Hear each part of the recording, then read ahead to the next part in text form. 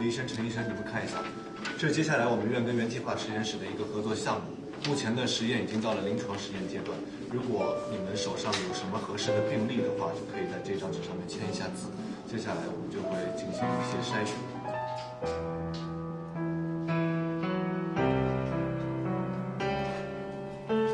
刘医生，吃饭了。是这样，我这有一份文件，希望你可以看一下。相信你应该已经知道了，最后在诺顿和原计划当中，我们选择了原计划，原因还是因为诺顿的药价实在太贵了，没有办法真正普遍的推行到社会中去。但如果原计划这个项目成功的话，不仅可以推向社会，对我们国家、对世界来说都是一种新的突破。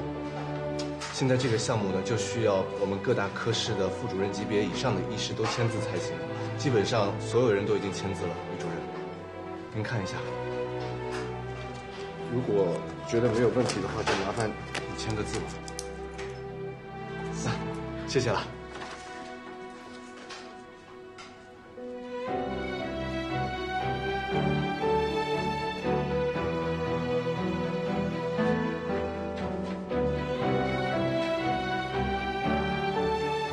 老钱，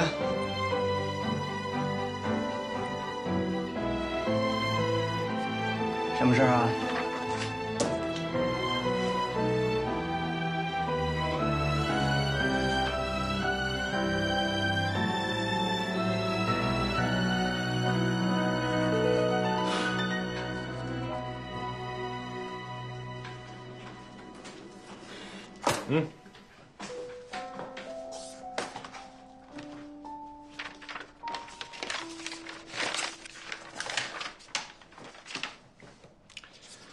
不用看了，全搞定了。行啊，没想到这些医生都被你说服了。小菜一碟。我让你谈的临床实验合作对象呢？差不多了，就差小鱼儿他们家了，家里边不同意。为什么呀？什么为什么？家里边人不愿意冒这个风险呗。也是，年纪还太小了。这样，我去跟他家属谈。我觉得够呛，他爸妈基本上不出面，所有的事情都通过保姆转达的。没事，这事就交给我吧，你别管了。乖乖吃药，等你病好了，爸爸就来看你啦。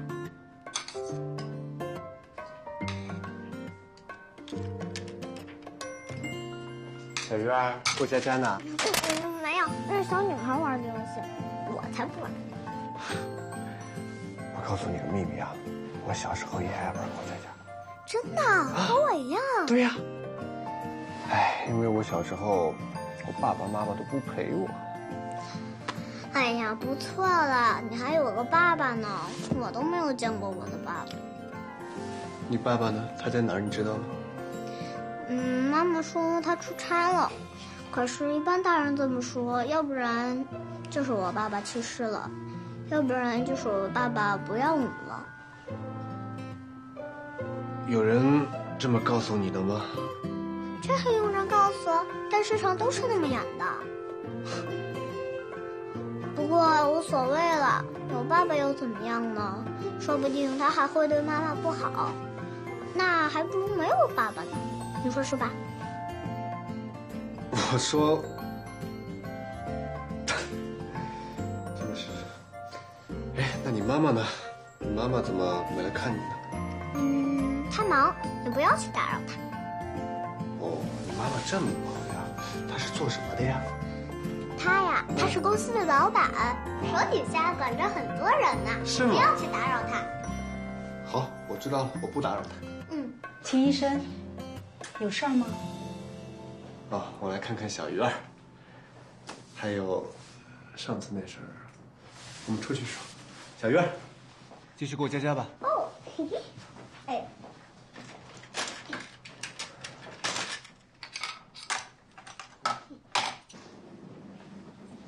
秦医生，小鱼儿他妈不同意。为什么？他妈妈觉得临床试验风险太大。陈阿姨，既然国家已经批准了临床试验，那么风险就肯定是可控的。秦医生，该说的我都说了，可他妈妈说了，就算试验成功，谁又能保证没有后遗症呢？是家长会这么想，我完全可以理解。但我希望您可以再跟他说一下，让他再给我们一次机会。下一次我把我们的项目负责人一块叫过来，不管小鱼儿的母亲有什么想法或者是疑问，我们都可以面对面再沟通一次。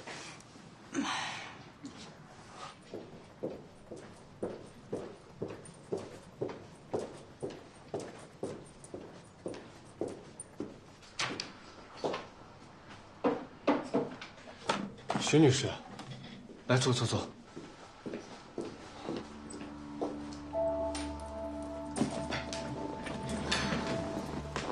陈阿姨说您坚持要跟我谈一次，是的，有关那个实验，我希望你可以再考虑一下。我是觉得你们这个项目的风险性实在是太大了，孩子又那么小，才刚刚五岁。我理解，徐女士，癌症的治愈标准是五年内不再复发，但这一次我们建议您参加的这个实验，只要这个药物在小鱼儿身上起效，就意味着彻底的治愈。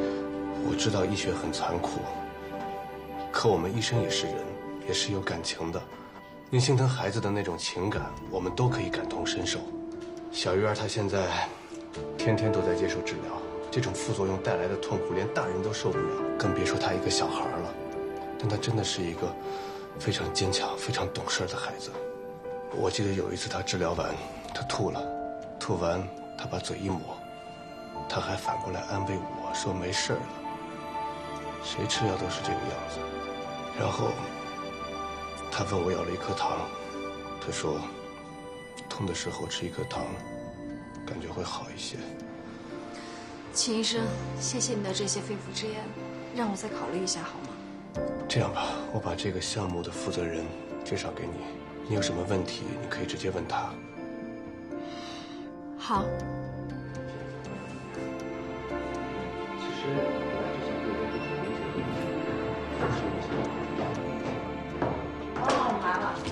来来来，快来坐，快来坐。小秦大家都熟，小秦来啊，主要是为了我们后边的临床工作。你是奥阳医院那边跟我们对接项目的医生？对啊，没想到吧？那接下来的日子就有请孙老师和裘老师多多关照了。哎，王老，我再插科打诨问一句，哎，不知道你们这儿允许不允许办公室恋情啊？因为如果不允许的话，我很难办了。够了，秦姑，王老，快说正经事吧。好好好，说正经事，说正经事。我们早先啊进行了这个动物实验，进展呢十分顺利。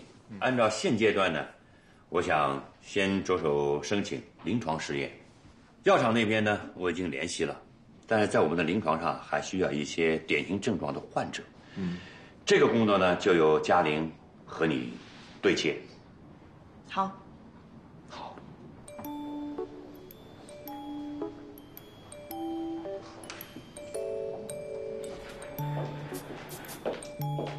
坐吧。裘老师，裘老师，第一天来你们这儿上班，可不可以给我一个爱的抱抱？别闹了，我没闹。我可是有男朋友的人啊。坐吧。我正好也想问你，你跟周小山的事儿，你们公司没人知道吗？没有啊，为什么呀？没有为什么，没必要。什么没必要？他提的吧？我们两个的主意。他傻。我要有你这样的我砸锅卖铁，我要在滨江大道那块大屏幕上面投放三天三夜，让全世界都知道。好好，等你什么时候去投放的时候，记得告诉我，我去当观众。快点说正经事了。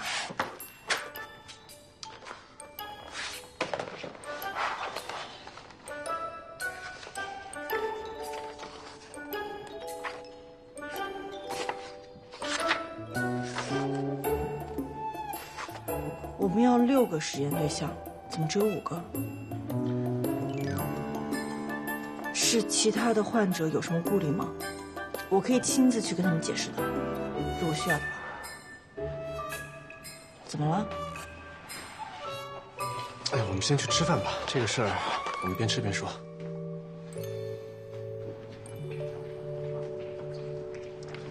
赵山，你们裘老师跟秦医生怎么回事啊？啊，之前都消失好久了，我还以为没戏了呢，这又找上门来了。俩人有说有笑的，好事将近啊！啊，不知道，你不是他们组的吗？啊，他天天带你做实验，你有没有发现一些什么蛛丝马迹？不知道。你再好好想想，比如什么车接车送啊，有没有？不知道。一问三不知。哎，佳宁，跟我一起吃饭啊！哦，我不去了，你们去吧。今天怕是真不行了，我得替佳宁请个假。为表诚意呢，我请大家喝 Luckin Coffee 好不好？请客，请客，来，大家来，我这点。来一拿铁。OK。喜欢什么喝什么。好好好。来来来来点。来一个巴黎闪一。赵山。来一个巴黎闪。你喜欢什么呀？帮你点。不用了，你你给他点一个美式不加糖的。美式不加糖多苦呀！也是苦点配你。我给你加块蛋糕吧，再。来，徐安宁。好。这份报告需要你看一下。好，我点完了吗？了，啊。小本放桌子上。现在。别这么放桌子上。现在就要。是不是又需要苏打水和苏打饼干了？他来干嘛？都点完了。公事。嗯。佳宁，走吧，我们吃饭去吧。我也没吃饭，我也要去。就不带你？谁需要你带了？哎，什么表情啊？同事们都看着呢。这可不像是看到女上司跟她的男性友人出去吃饭的表情哦。秦兵，你别得意。什么叫我别得意啊？我可不像你，我光明正大的追求佳宁。手机。哎，张先生，等我一下。拜拜。谢谢先生。赵山。快点快点，一会儿迟到了。看不出来，你还挺喜欢刺激的。嗯。地下恋情。别胡说八道啊！工作和感情，我还是分得清楚的。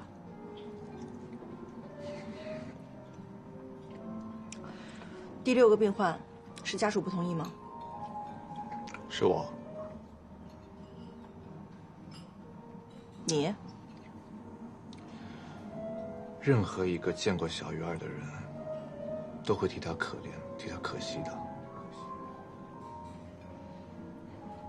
但任何一个人，不应该包括你。你是一名医生。是。所以我想要一个保证。保证什么？保证原计划一定成功，小鱼儿一定重获健康吗？抱歉，就算有百分之九十九点九的概率，我也没有办法对你做任何保证。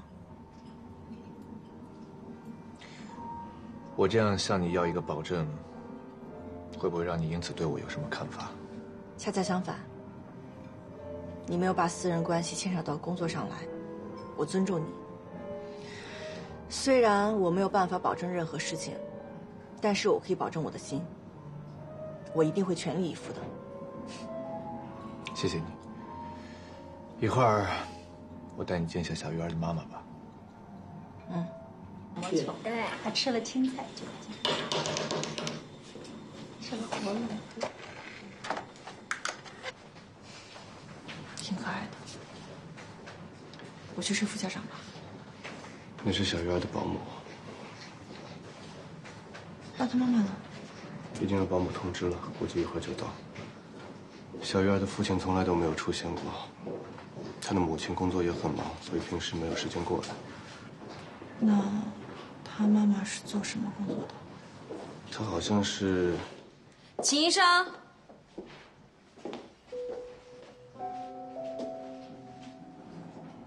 徐千雅。你们认识啊？佳宁，你要的资料，那你们先聊，我出去了。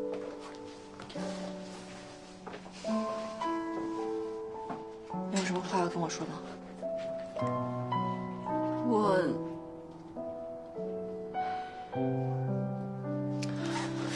给，这是原计划的一些相关资料，你回家看一看。希望你能够考虑让小鱼儿加入我们的项目。佳宁，你有把握吗？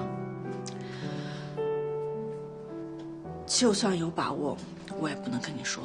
我只能说，如果小鱼儿用了我们的药有效果，那么复发的几率会远远低于手术。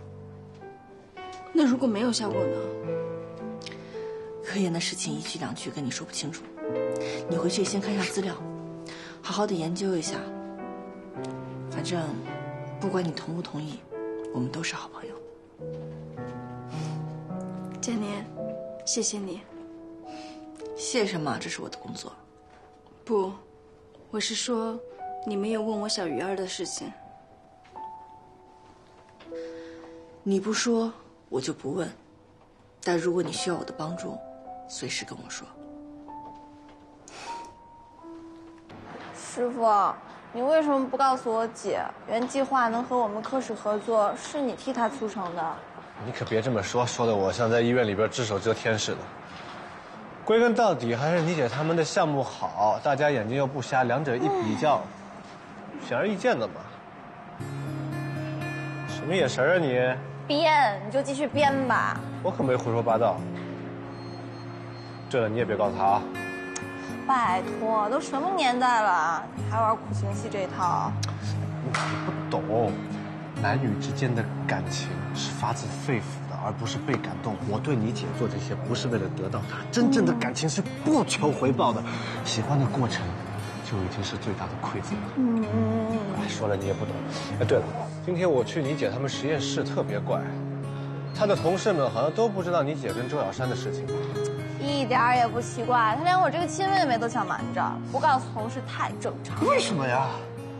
他在国外受了那么大委屈，回了国也不通知下家里人，为什么？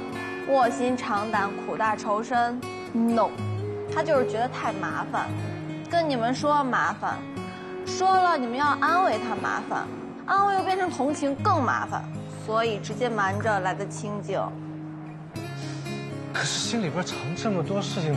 真的不难受吗？他可一点都不难受，他忙着探索科学，推动文化进程呢。就算他不难受，可这周小山也太奇怪了吧？他怎么了？我今天不是去你姐那儿开会吗？嗯。我一到那儿，她同事就拿我开玩笑，明着暗着撮合我跟你姐。按照这种情况，周小山应该很生气才对吧？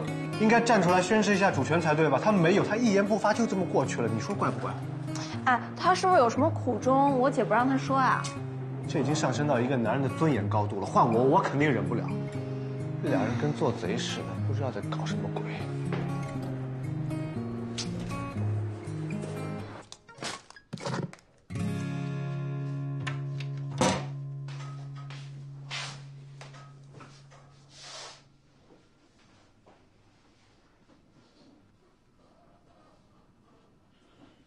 享受做一个正常人的感觉，拥有正常的情感。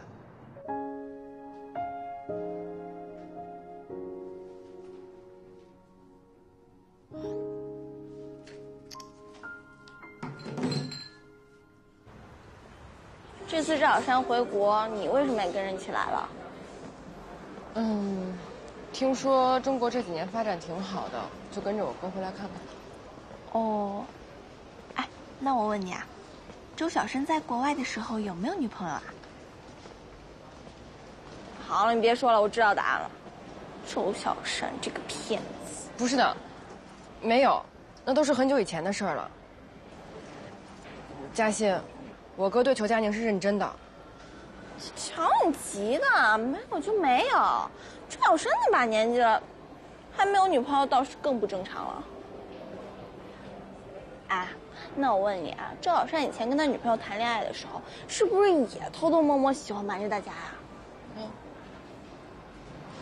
嗯，我哥，我哥他，莫莲，你怎么紧张兮兮的？就闲聊。我不是嘴笨吗？害怕又说错话，让你们误会。那好，那我不问了。走，我们买衣服去。哎，这件，这件应该挺适合我的吧？啊，你觉得？嗯，这个颜色也挺好看的。哦，哇，这个我……你好，什么价格？请问可以试一下？嗯，嘉欣，这么多衣服你试得过来吗？又不是我试。哎，姐姐，你把这些全部拿一个重码给他试一下啊。好的，跟我来吧。嗯。走啊！跟我说试不了，太公主了，这个衣服我穿公主，我穿不了。不让你身材合适，不试试，我穿不了。你天天跟男人一样，不行，我穿试试，穿不了。走走不走？走走。哎呦，你看你全是朋克风，像男人婆一样。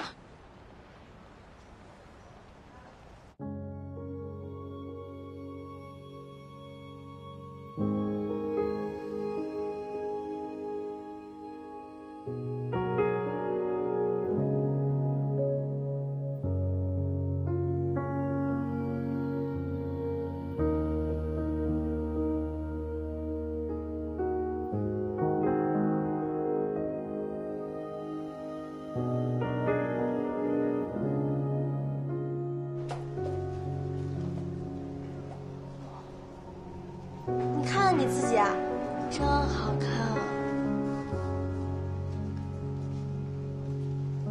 啊！什么啊，嘉欣，真的不好看，我去换回来。哎，别别，特别好看！我跟你说，我今天才知道什么叫做女人味是可以培养的。你看看你自己啊，真好看。茉莉，你是不是自己都看呆了？哎，你把这些衣服全都买了吧？不行，嘉欣，我不能买。哎，别，多好看，买了吧。不合适。茉莉，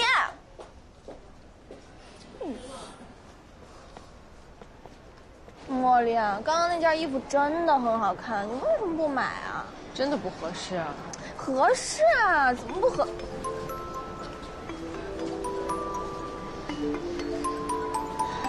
怎么了？老妈子又来叨叨叨了。喂，可爱、漂亮、美丽、大方的吴女士，什么事情啊？你是不是又买东西了？我刚收到银行短信，是不是你刷的呀？哎呀，妈妈，变天了，我没衣服穿了。你还没衣服穿啊？你那衣柜一打开，衣服都铺出来了。哎，我说你，你一天到晚在医院穿白大褂，你要那么多衣服干嘛？哎呀，妈妈，你听我说，你以为我想回国啊？你知道吗？我走在路上，突然发现那件衣服上就写着三个字写了什么？邱嘉欣。你说这件衣服上可是写着你女儿的名字啊！这种情况下，我能忍受得了属于自己的衣服沦落在外吗？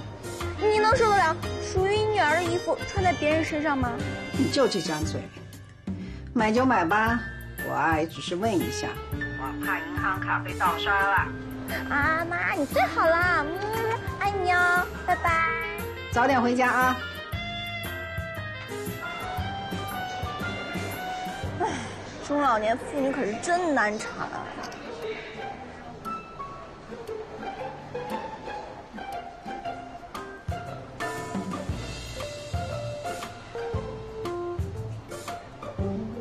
不会吧？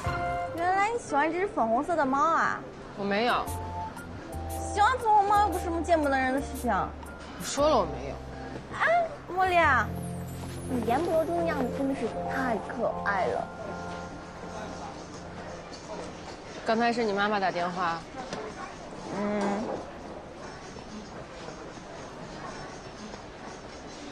有妈妈关心，真好。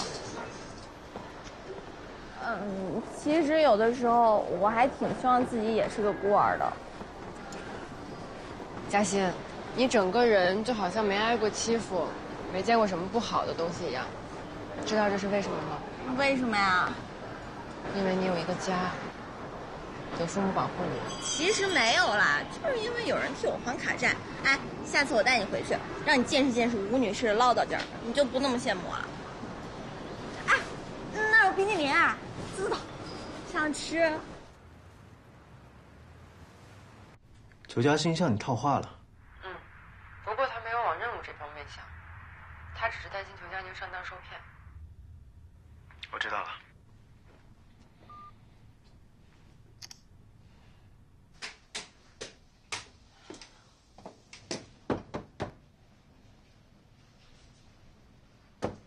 赵小山。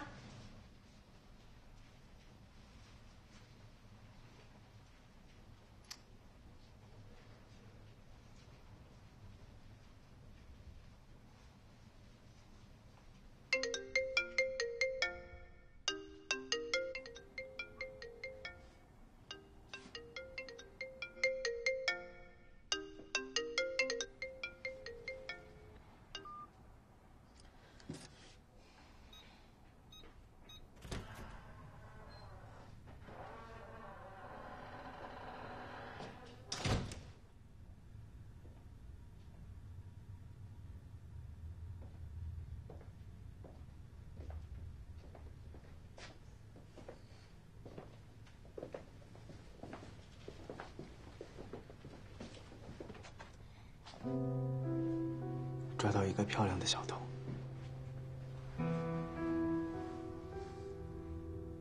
赵小山，嗯，六年前你在 A 城有没有去过一个地方？你这个问题很奇怪。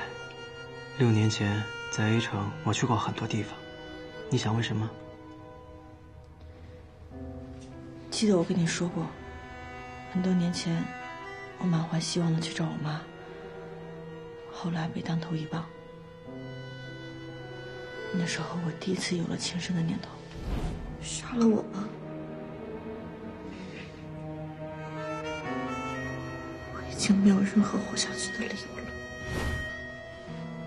这个时候，出现一个男人，他告诉你，连死都不怕，就不该怕活着。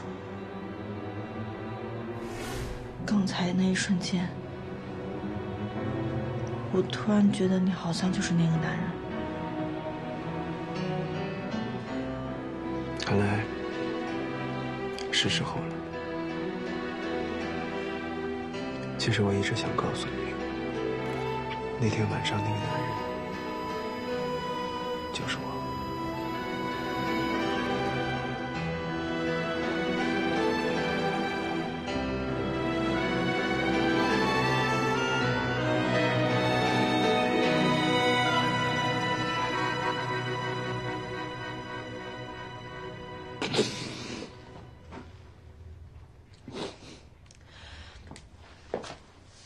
原来你是在骗我啊！你信了？佳宁，那如果那个男人真的是我呢？你会怎么办？这个世上怎么会有那么巧的事情啊？中国人很相信缘分的，你不知道吗？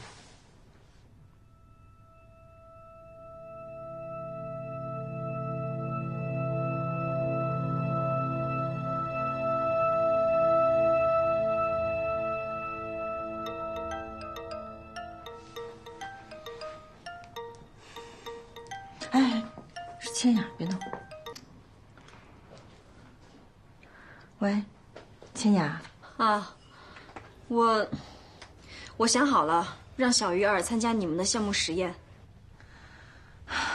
千雅，谢谢你。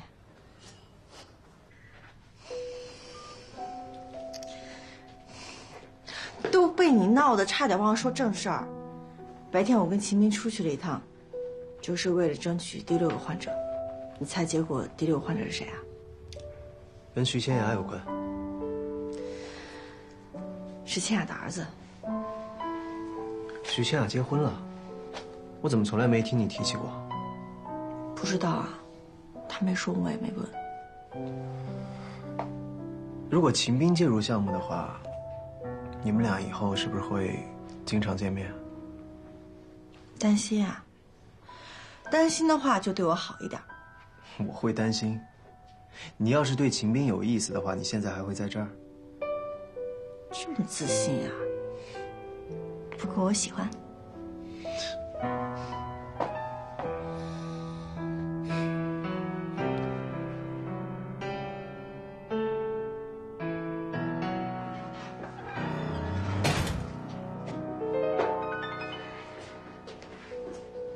邱佳宁。你这么晚怎么还在周小山那儿？嗯，怎么了？我问你，周小山以前有过女朋友吗？有过吧？有过吧？你没问过他吗？没问过。那我告诉你，他以前有过女朋友，并且是光明正大谈恋爱，而不是跟你一样偷偷摸摸的。嗯，是吗？你怎么知道的？你别管我怎么知道的，反正我现在就问你。为什么周小山跟你谈恋爱是偷偷摸摸的，跟别人谈恋爱就是光明正大的呢？我喜欢偷偷摸摸的，行了吧？哎，邱佳宁，你严肃点，我认真问你呢。我知道你是关心我，嗯，但我认为呢，两个人谈恋爱就是要尊重别人喜欢的方式。周小山他不喜欢大张旗鼓的，不喜欢太高调，那我也不喜欢。这样子我们两个在一起很舒服就行了。行行行，算我瞎操心行了吧？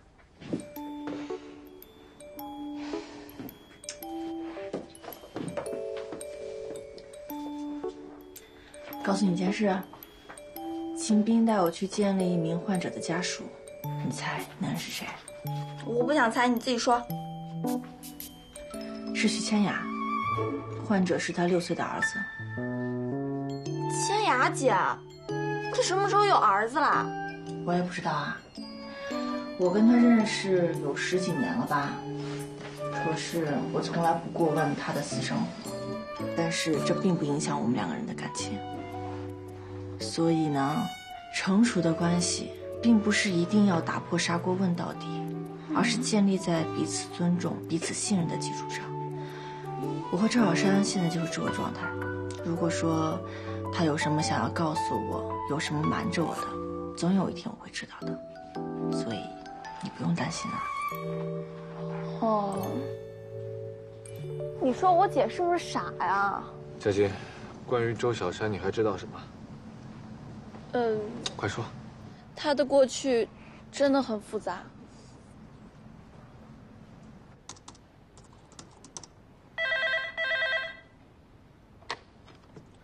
喂，朱小山，有人找。谁啊？他没说，就说在楼下等你。啊。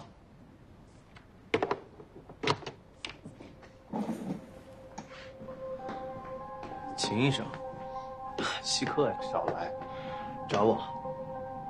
你对江宁到底有什么目的？我听不懂你在说什么。江宁选你，我认了，但我会一直保护她，我不允许任何人伤害她，你明白吗？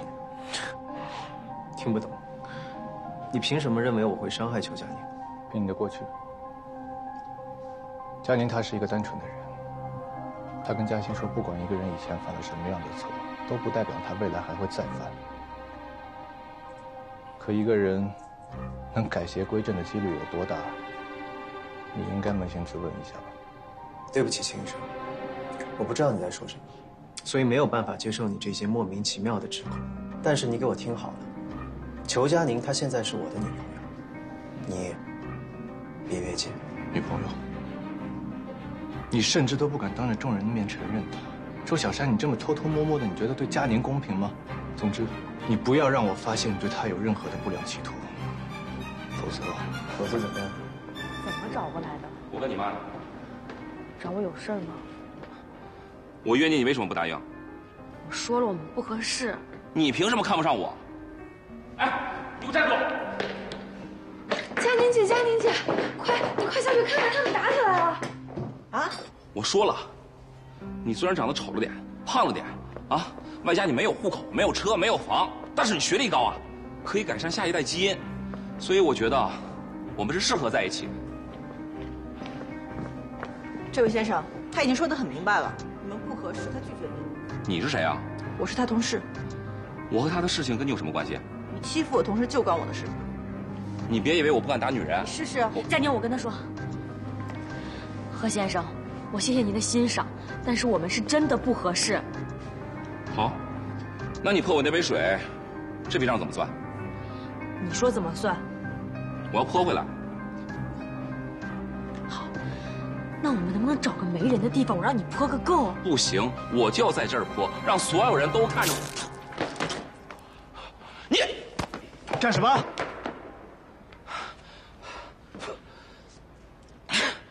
你们一群人欺负我一个人。你一个大男人，你欺负女人，你是人吗你？他先泼我水的，泼你硫酸。哎呀，啊，我的脸好疼啊！哎呀，哎呀，我要毁容了！哎呀，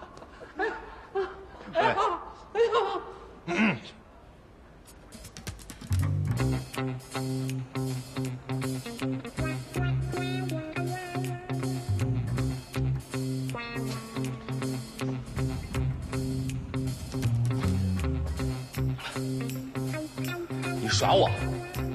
你就是好，你们等着，你们给我等着！你们等着！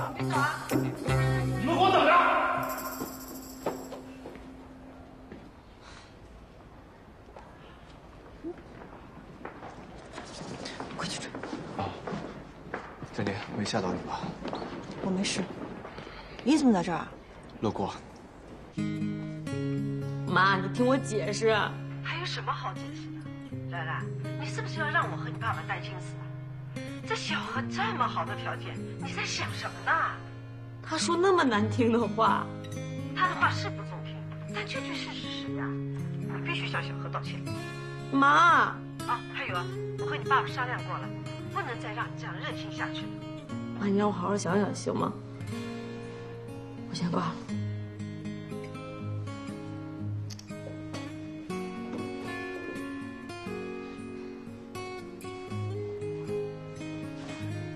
刚才谢谢你啊。作为同事，这都是应该的。春儿啊，我没有看不起你。我知道，是我自己自卑，我觉得你们看不起我。你也没有那个人渣说的那么差。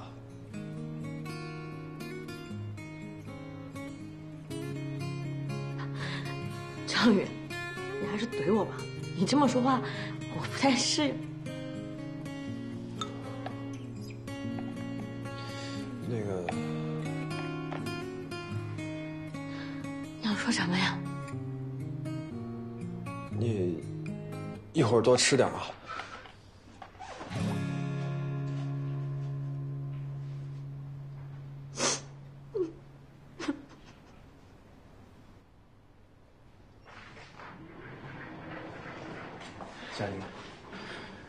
才你不该那么冲动。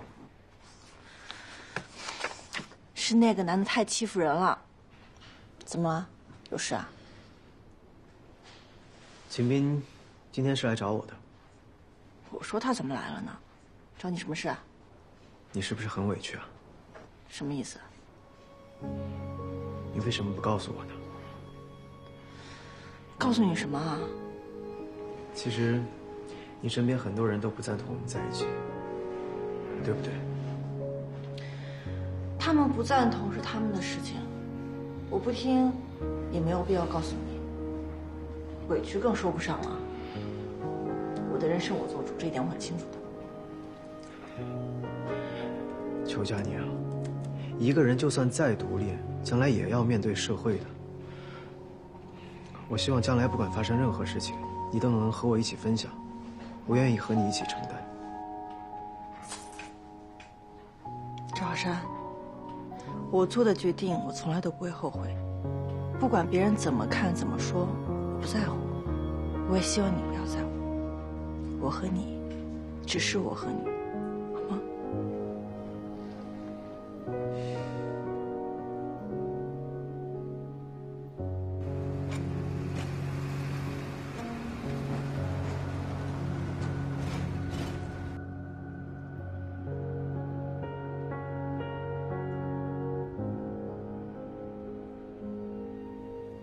你今年虚岁三十了，当初我就不同意，你念完大学还要往上念，结果心一软同意了。你看看你现在，要什么没什么。李纯然，你要是还认我们做父母的，就赶紧辞职回来。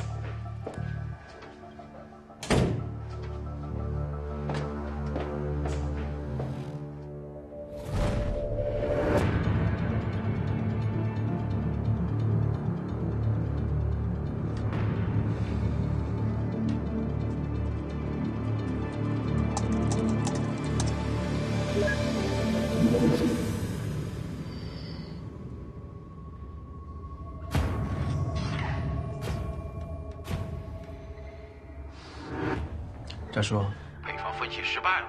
嗯，剂量太小。另外还有一个坏消息，实验室的密钥改了。又堵死一条路。小山呐，我们的时间可是越来越紧迫了，务必在申请专利之前拿到配方。我明白，扎叔。嗯。